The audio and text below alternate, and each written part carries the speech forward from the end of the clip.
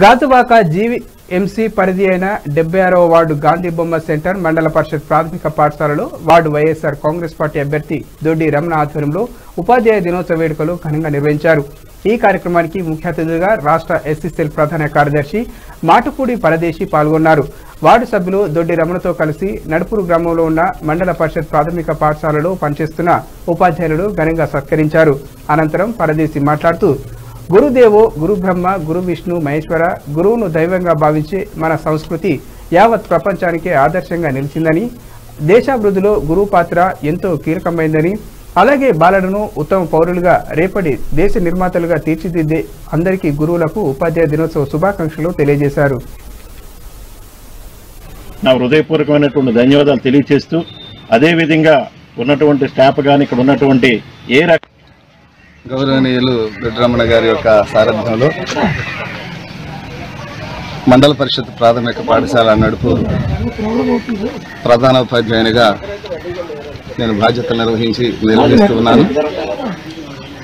మరి వారు మమ్మలను ఈ రీతిగా గౌరవించటం చాలా సంతోషించదగిన విషయం. ఎందుకంటే ఉపాధ్యాయునికి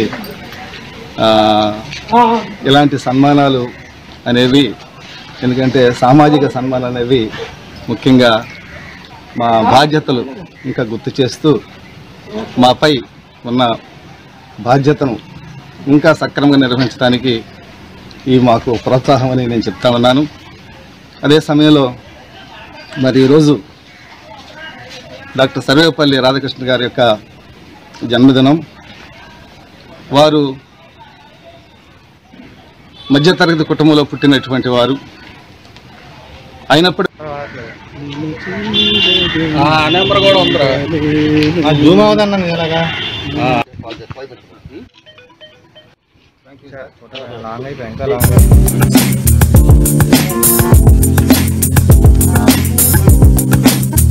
దేశంలో ఎవరైతే విద్య దానం చేస్తారో ఉపాధ్యాయులు కార్యక్రమంలో ఈరోజు వారికి ఎంతో అహోమతమైన పరిస్థితి రోజు ఈరోజు ఆ సందర్భంగా ఈరోజు నడుపూరు ప్రాథమిక పాఠశాల ఉపాధ్యాయులు. లింకం లింకం గారు.